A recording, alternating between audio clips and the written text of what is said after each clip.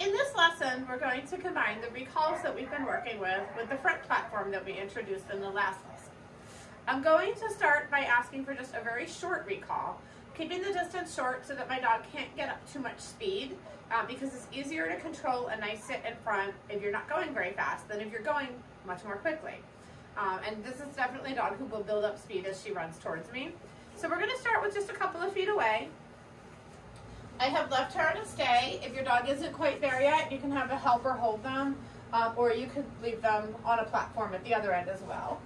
I'm standing so that I'm nice and straight to my platform. I've actually got my toes tucked under it just a little bit.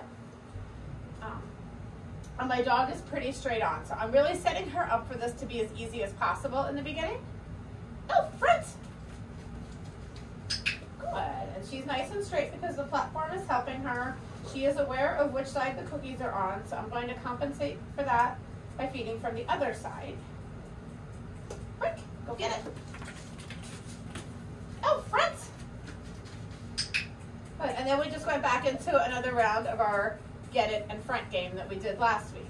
Um, as your dog gets better at this, you can start adding more and more distance. Realize that the faster they're going, the harder it will be to skid into a nice straight front. But the platform really helps them to not be wrong. Um, so it's really good for building up muscle memory and just creating the habit of coming in nice and straight to do lots of recalls with your platform.